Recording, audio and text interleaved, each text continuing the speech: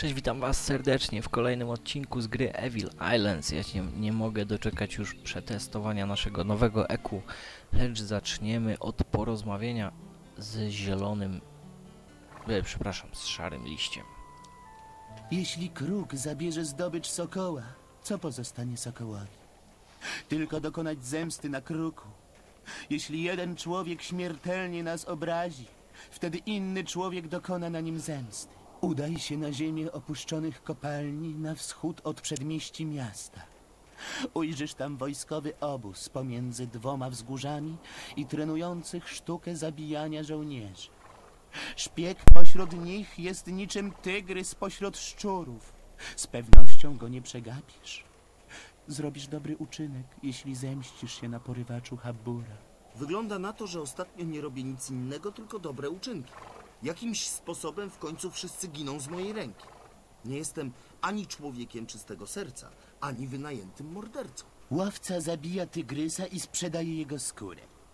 Czy to oznacza, że tygrys był niegroźnym kotkiem? Przyjaciel zielonego klanu pomści porwanie Habura. Czy to oznacza, że martwy porywacz był niewinną ofiarą? Zastanów się nad tym, człowieku. Proszę wodzu, opowiedz mi o tej strzałce. Słyszałem, że każdy z twoich wojowników robi inne, dzięki czemu zawsze można rozpoznać łowcę po jego strzałkach. Skąd masz pewność, że to wilk, skoro nie podążasz jego tropem? Ta strzałka nigdy nie należała do zielonego klanu, chociaż na taką wygląda. I jeszcze jedna rzecz. Ani biały klan, ani czarny klan nie znaczą swych strzałek w ten sposób. Te klany mogą być moim wrogiem. Ale wrogów zwalczamy bronią, a nie kłamstwami. A ja miałem nadzieję, że się czegoś dowiem. Chyba muszę kontynuować moje poszukiwania w mieście. Przykro mi, że tak się stało. Ale nikt nie może powiedzieć, że nasz lud nie zna wdzięczności. Sekretną ścieżką udamy się na wschód, ale pozostawimy ją dla ciebie otwartą. Udaj się na wschód, otwórz bramę i wejdź do labiryntu pomiędzy wzgórzami. Przejdź przez labirynt, otwórz następną bramę i wejdź w górzyste doliny. Dawno, dawno temu żyli tam magowie, którzy wynajdywali nowe zaklęcia wojenne. Ale już dawno opuścili tamten teren. Tak jak powódź zostawia po sobie błoto i odpadki, oni zostawili ruiny i ślady swojej zabójczej magii w tych górzystych dolinach. Ale zielony klan zdołał kontrolować tę magię i zrobić z niej dobry użytek. Idź wzdłuż południowej ściany dolin i użyj naszego ołtarza. Magiczna pułapka powstrzyma dzikie tygrysy, byś mógł podążyć na południowy wschód do nowej rezydencji Zielonego Klanu. Dziękuję, Szarliściu. Jeśli będę potrzebował pomocy od Zielonego Klanu, będę wiedział, gdzie cię znaleźć. A teraz żegnam. Muszę wrócić do miasta i kontynuować moje zadanie. Tak, okazuje się, że strzałka była tylko spreparowana, tak żeby zrzucić podejrzenia na ludzi lasu. Ojej, dalej nie możemy zabrać Brisena. Możliwe, że będziemy mogli go dopiero zabrać, kiedy przeniesiemy się do nowego obozu. Czy kiedyś zielony klan przeniesie do nowego obozu. Tak, i mamy tutaj dzisiaj opuszczone kopalnie. Mamy tak, zemstę na porywaczu starca. I mamy kolekcję gubernatora.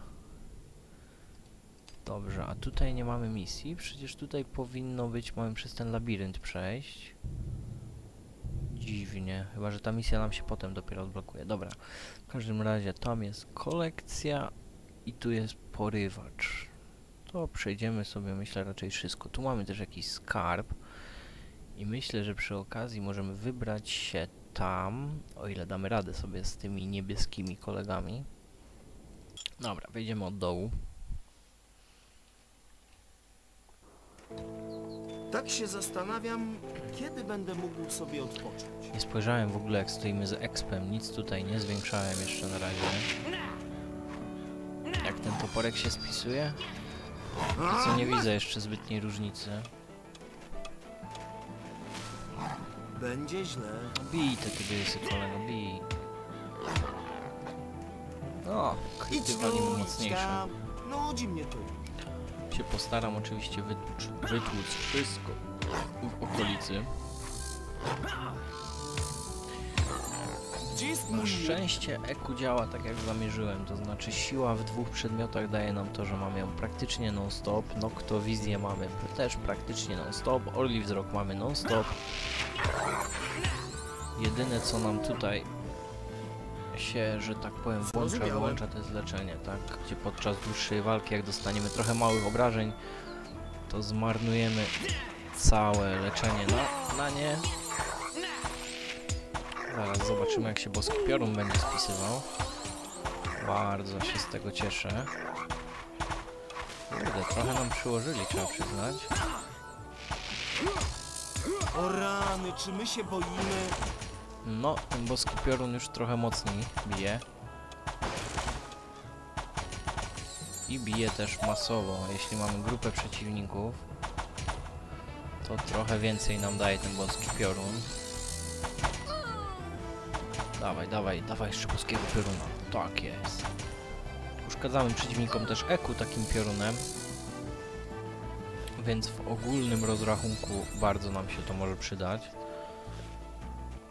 Powinno nam trochę lepiej iść. Nie wiem, czy nie Każdy lepiej będzie zainwestować w osłabienie w tym łuku, ale jeszcze zobaczymy, jak ten piorun się będzie spisywał. Zrozumiałem.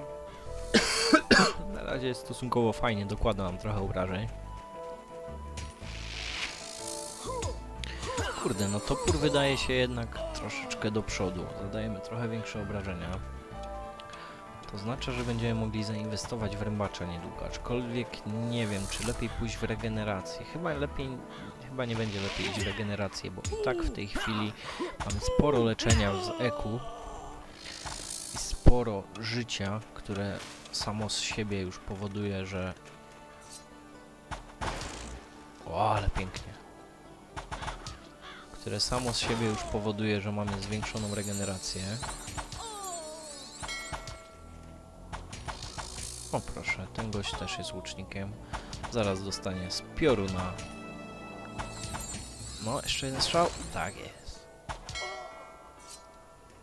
Okej, także zemściliśmy się, dokonaliśmy No tu zemsty. 4000 expa wpadło. Oczywiście wytłuczemy wszystkich przeciwników. O właśnie, Ale to tak jest to naprawdę osłabienie, które działa na dwa cele. Cudowna rzecz. Właśnie myślę, że w łuku moglibyśmy sobie zrobić to samo, to znaczy osłabienie działające na dwa cele. To dobra rzecz. Ale nie wiem, jeszcze sprawę przemyślę poważnie. Eee, porządku. Gdzie tu będzie najwięcej przeciwników? Chciałbym pójść tak, żeby jak najwięcej ich spotkać.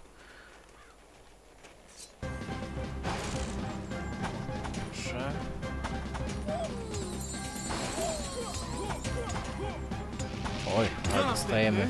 Jak bijemy z łuku, jak ktoś bije nas z bliska. Co tu się podziało? Tego się nie spodziewałem. W drodze. Tak, Trzeba się skupić na tych, którzy są blisko nas najpierw.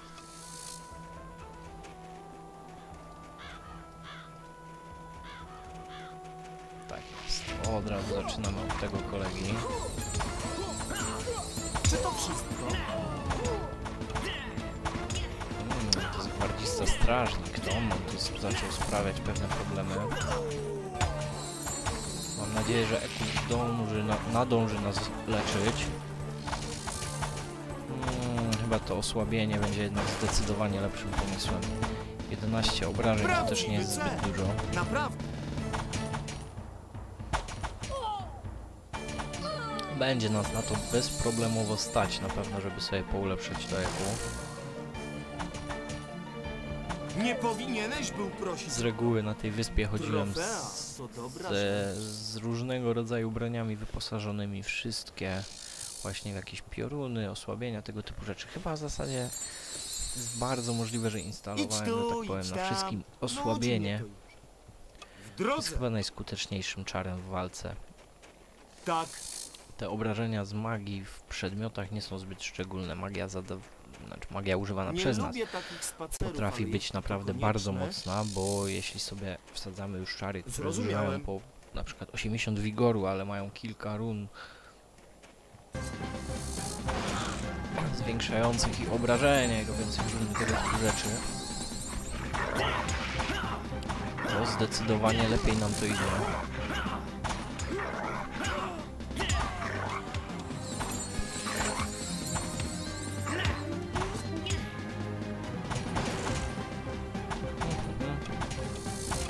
Za, za, za zbyt rzadko walimy tym piorunem, a zauważcie, że to jest i tak wzmocniony piorun podwójnie i on bije po 11, także te obrażenia są naprawdę marne z tego typu czarów. Jeszcze pies leżał, nie? I wcięło go. A nie, to psa podniosłem i gościa, dobra. W W takim drodze! razie wszystko mi jednak pasuje. Fajnie, że tyle pieniędzy zdobywamy. Pieniądze są jak najbardziej przydatne. Hmm, czy ja chcę tu iść? Co tu za skarb mamy? Tu coś jest na pewno. Aha, to jest jakaś kłoda. Oj, nie chciałem zatrzymywać czasu. W porządku. Ja mam przyzwyczajenie z Lola, że jak chcę przenieść kamerę na swoją postać, to klikam spację. Ma to przyzwyczajenie jakiś sens, jeśli dzieje się coś nagłego i niespodziewanego tutaj. Zatrzymujemy sobie czas i dzięki temu Kto następny? Przywołam sobie tego wil wygrysa tutaj tylko i lejemy dalej. Żeby mi tam nie odszedł, żebym nie musiał za nim ganiać. No proszę. W drodze! Niespodzianka! Tygrysy to taki darmowy exp dla nas praktycznie. On zdecydo zdecydowanie poprawi poprawiliśmy się z tą bronią, bijemy dużo mocniej. HP nam w oczach przybywa przy takich ilościach expa jakie dostajemy. Mhm. A to może jednak to tutaj jest ten labirynt, gdzie mamy odnaleźć co tu jest na końcu labiryntu. Co, coś jest, jakiś skarb tu jest. Oj, dobra. Jeszcze się temu przyjrzę. Nie chcę z wami koniecznie zwiedzać całej mapy. Już w jedną stronę mogę iść, ale potem powroty są nieraz długie. Jest to parę minut czekania, aż ta postać zajdzie sobie do wyjścia ze strefy gry. Podczas gdy po drodze nie ma już nawet żadnych przeciwników, bo wszystkich wytłukliśmy. W tej chwili też za bardzo, kurde, nic się nie dzieje. No mamy po drodze jakieś tygrysy, które z łatwością sobie ubijamy. Nawet w większych ilościach nie, będzie z nimi żadnego problemu.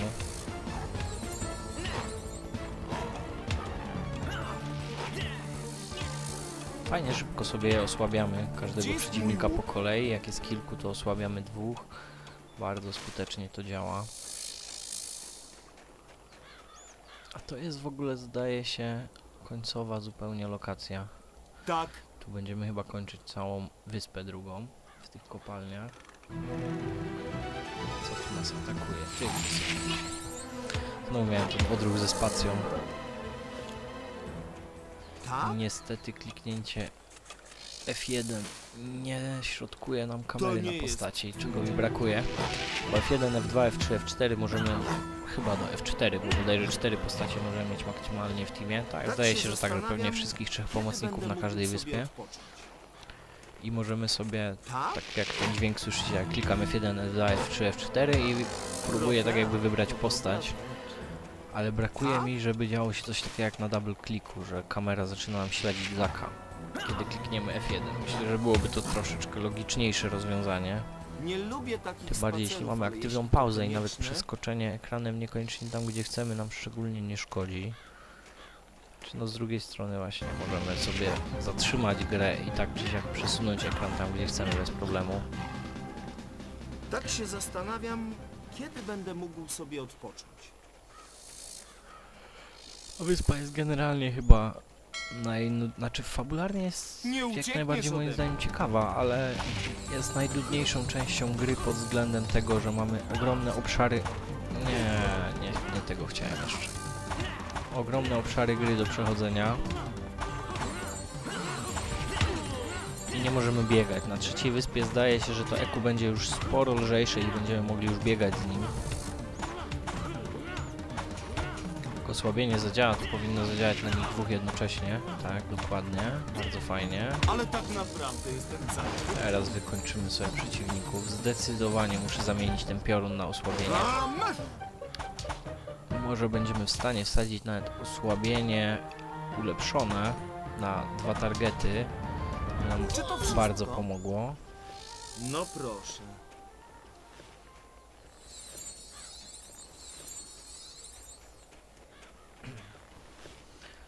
290 HP już z czarem siły, bardzo fajnie, przyjemnie.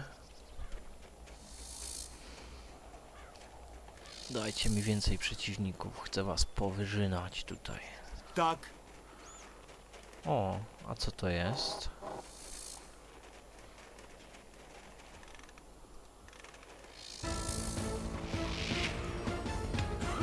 Hmm. Nie wiem, czy to jest związane z jakimś questem, czy tak po prostu możemy sobie tutaj kogoś uwolnić z dobrego serca. E, Zak ma jak najbardziej dobre serce i uwalnia wszystko, co tylko może. Chociaż przyznaję, że na przykład na pierwszej wyspie, kiedy mieliśmy jeszcze gdzieś na samym początku, nie wiem czy kojarzycie, było takie miejsce, gdzie były jaszczury zamknięte w klatce. Gdzieś tam mogliśmy to miejsce zauważyć, idąc po e, pierwszego goblina, żeby go ukraść. I w tym miejscu, w tej klatce były zamknięte jaszczury. Nie wiem, zajęło to może z 5 minut, ale z łuku wystrzelałem te jaszczury, bo możemy je po prostu otworzyć, zwyczajnie otworzyć tą klac- klatkę, ale nie ma to też żadnego zupełnie impaktu na grę. To znaczy, ten, ta decyzja nic dla nas zupełnie nie zmienia, że uwolnimy te jaszczury. Jedynie co, to one uciekają i nie jesteśmy w stanie ich zabić. Na pewno na, na tym etapie gry, kiedy tam dochodzimy do nich, nie jesteśmy w stanie ich zabić. Moglibyśmy ewentualnie poczekać do późniejszego etapu gry, wtedy je otworzyć. Zobaczymy, co tutaj w ogóle się znajduje. A, klatka z tygrysami. Aha, bo to jest ta farma ta klatka z tygrysami, co była wcześniej wymieniona przez y, Karansula, tak? Karansul on się nazywa. Jezu, jakie te imiona czasem są trudne. O, bardzo fajnie. Tutaj tak tylko trzy będą mogły do nas podejść, więc sobie bez problemu wszystkie wybijemy. Gdzie mogę teraz do was spokojnie pogadać. Czasem jest to dość ciekawe, że tylko trzy tygrysy mogą do nas podejść w tym miejscu, chociaż tak naprawdę ze wszystkich stron by się dało nas, do nas dodatkowo podejść. O, czyżby? Myślałem że czterem się uda. O, tygrysy jednak nie są dla nas żadnym wyzwaniem. kto następny?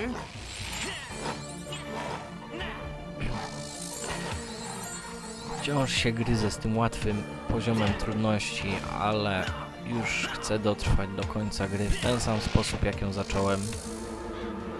Dość łatwo się to wszystko przechodzi, ale tak naprawdę głównie chyba chcę wam pokazać bardziej pewne triki mechaniczne, jeśli ich nie znaliście. A jeśli nie interesuje was mechanika gry i nie zamierzacie w nią sami grać, Nudzi to przede wszystkim, co wam chcę pokazać, to jest właśnie fabuła, którą uważam za bardzo ciekawą, naprawdę. E, może nie równa się z fabułą Gotika, gdzie mamy dodatkowo pewne wybory i możemy wpływać na różne rzeczy jakby w trakcie gry, choćby wybór jakby przynależności do, do, do klasy i tak dalej. A czy do klasy, co ja gadam, do ugrupowania, tak? W tej grze nie mamy jakby wyborów, fabuła jest totalnie liniowa, ale historia, którą opowiada jest moim zdaniem bardzo ciekawa. Dezerter były strażnik. Mm. Nie powinieneś był prosić o to. No, tak dużych krytów nam raczej nie wsadzi. Zaraz się wyleczymy tak czy siak z wyobraźmy.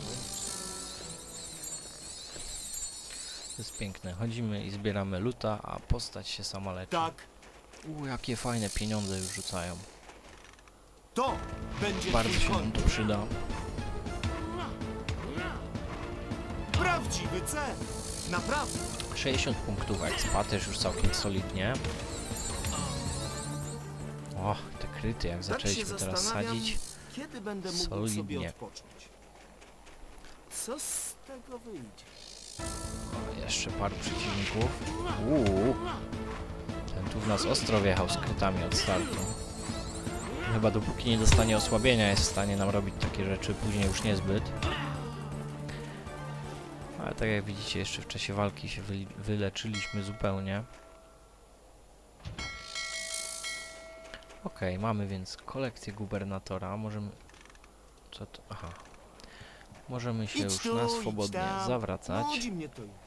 Myślę, że jeszcze przy okazji przejdę się na ten obszar, bo tutaj chyba żadnego questa nie ma, A chciałbym zajrzeć, zobaczyć co tutaj znajduje się w tej kłodzie. I myślę, że to będzie wszystko, co zrobimy w tym odcinku. Już mamy dość sporo czasu, także ja sobie skipnę ten czas i widzimy się za chwilę w tym miejscu. Tak? No, jesteśmy tutaj już w pobliżu, właśnie wielka plama po zabitym trollu tu leży, który się do nas przypamiętał. Zauważyłem, że trochę spieprzyłem sprawę jednak z tą bronią i osłabieniem działającą na dwa cele. Ponieważ brakuje nam specjalnej runy, znaczy specjalnej runy, i tak nie, nie wsadzimy raczej tych dwóch run jednocześnie, bo już zbyt złożony będzie ten czar, e, żeby oprócz tego... Chwila. Dobra, jest ok. Żeby oprócz tego, że działa na wielu wrogów, całkiem nieźle idzie, łukiem z nimi, żeby oprócz tego, żeby działał na, e, na dodatkowy cel, działał tylko na wrogów. Jest taka specjalna runa i ponieważ nie mamy jej w tym czarze, to powoduje, że jeśli walczymy z pojedynczym przeciwnikiem, to Tak. sami obrywamy własnym osłabieniem. Drodze! Nie pomyślałem o tym, że tak działa mechanika tej gry. Byłem tego świadom, ale o tym zapomniałem.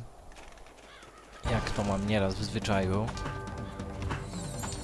Fajnie, mamy z nich po dwa stali, więc jak najbardziej wyrżniemy sobie wszystkich, którzy się tutaj znajdują. Mm, trochę potrafię przyłożyć. Tak, ewidentnie potrzebujemy tu łuku z osłabieniem. I w łuku możemy mieć multi-target w osłabieniu, bo nie stoimy na tyle blisko, żeby samego siebie osłabić strzelając z łuku. Natomiast bijąc zwykłą bronią, walcząc z pojedynczym przeciwnikiem, wrzucamy osłabienie na samego siebie. I tak naprawdę po rzuceniu na siebie osłabienia i siły dopiero dopiero propsuje się jakby znaczy wychodzimy na zero o to, o to mi chodzi wychodzimy na zero w tym momencie i jesteśmy tak jakby w zwykłym zupełnie stanie zdrowia. Natomiast jeśli akurat nie mamy czaru siłę na sobie tak naprawdę HP spada nam do 130 w tym momencie. To jest coś co jak najszybciej trzeba poprawić. Na szczęście mamy trochę pieniędzy na pokombinowanie z tymi broniami. Myślę, że to osłabienie, które mamy w broni, wsadzę sobie do łuku,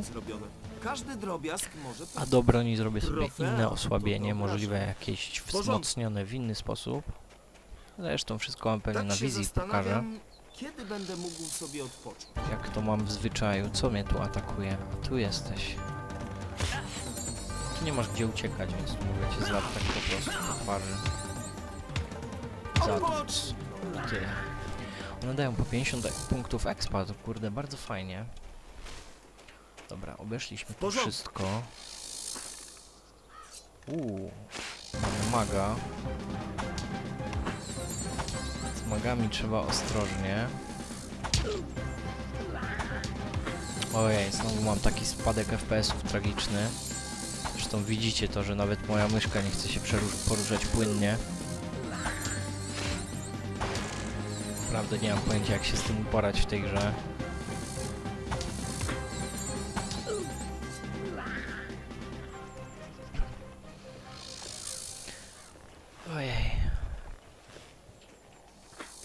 Nie ale mamy kupę pieniędzy i kupę stali z tego, także myślę, że będziemy już teraz uzbrojeni w całości w stal.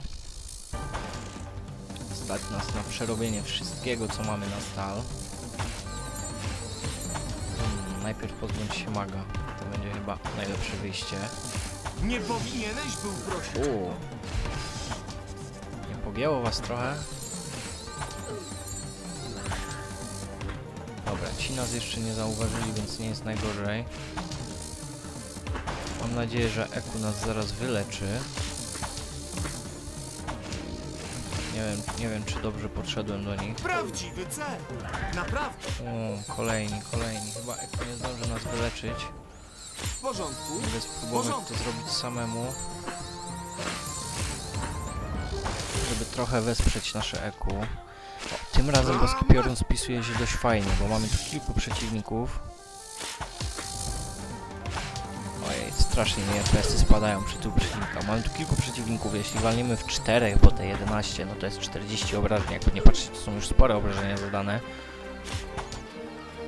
No, jak widzicie, nawet z taką grupą przeciwników jesteśmy sobie w stanie poradzić. Na poziomie trudnym byłoby to niemożliwe, zarżnęliby nas tu w moment po prostu.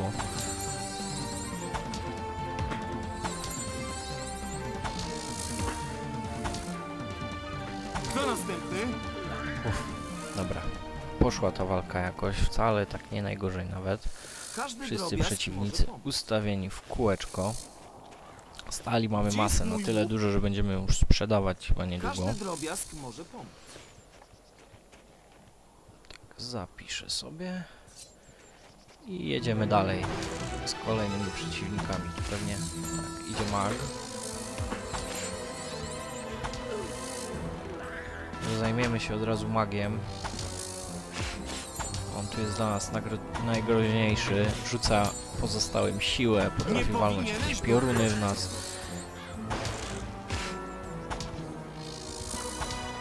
Ej, szkoda naprawdę, że te FPS-y nie umiem być w normalnym stanie. W zasadzie tu możemy cały czas z łukiem nawet chodzić, bo tylko łuk nam się tu raczej przyda. Gdzie jest to ciało? Tu jest ciało. Czasem te hitboxy tak jakby też się bugują, jeśli chodzi Tak o podnoszenie czegoś. Musimy odpocząć? kliknąć w trochę innym miejscu niż ciało leży, żeby w ogóle je podnieść. Nie wiem, czy jeszcze coś nas tutaj czeka, czy już w zasadzie... Tak, coś jeszcze tu nas czeka.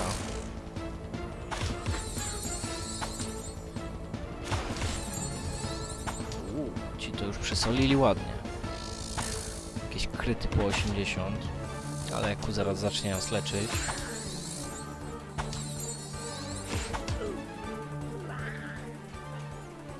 Zastanawiam się, czy będzie tu jakiś troll, aczkolwiek trolla zabiliśmy Tak już na wejściu. więc spodziewam się, że-. Niewiele tu już zastaniemy. Co najwyżej jeszcze jakichś paru wrogów drobnych. Niezbyt miłe, ale musi być zrobione. I co tutaj mamy? Wrodzy ludzie rasu. Aha, widzę, że zakończyłem jakieś zadanie, zanim jeszcze je dostaliśmy. Nie wiem jak będzie z dialogami, to może trochę pobugować Nie dialogi. lubię takich spacerów, ale jeśli to konieczne, Dobra, w zasadzie tu wszystko mam już zrobione. Wyjdę sobie tym wyjściem, żeby poubijać wszystkie tygrysy, jakie tu mogą stać jeszcze na drodze. Tymczasem skończymy sobie już ten odcinek i wszystkie dialogi zobaczycie w kolejnym. Zaczniemy zresztą kolejny odcinek chyba od przerobienia naszego eku. O, tu jeszcze coś do mnie przybiegło walczyć. Dobra, w każdym razie ja się z wami żegnam. Na tym kończymy odcinek. Do zobaczenia jutro o 16 i o 17. Na razie.